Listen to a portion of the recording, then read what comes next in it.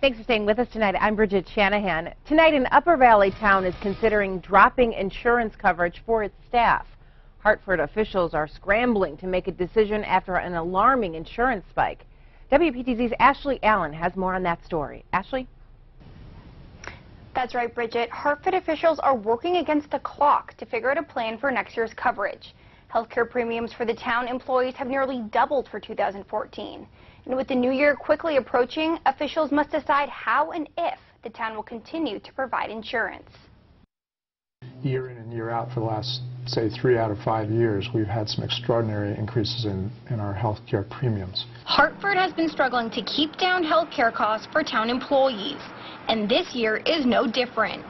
Hunter Rieseberg is the town's manager and says the premiums for next year came in a staggering 50% higher than this year's.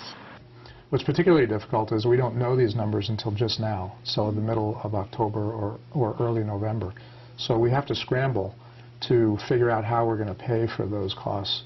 The first option is for Hartford to renew with their current provider by December 1st for a lower premium, but it would still be a 23% increase according to Rieseberg. The second is to switch healthcare carriers altogether. That would have to be done by the first of the year, and Rieseberg says it would still be a 21% increase. The third option is for the town of Hartford to drop coverage altogether.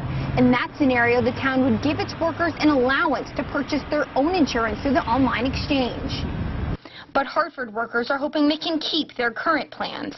I would certainly prefer not to have to do that. Simply because it's really nice here. If we have a question about our insurance, we have somebody we can go to in-house to tell us, you know, how to handle it. The Select Board will meet tonight to further discuss the options. We tried reaching out to the healthcare provider to get an answer about the jump in prices, but weren't able to get through. Reporting from the Upper Valley Newsroom, Ashley Allen, WPTZ News Channel 5.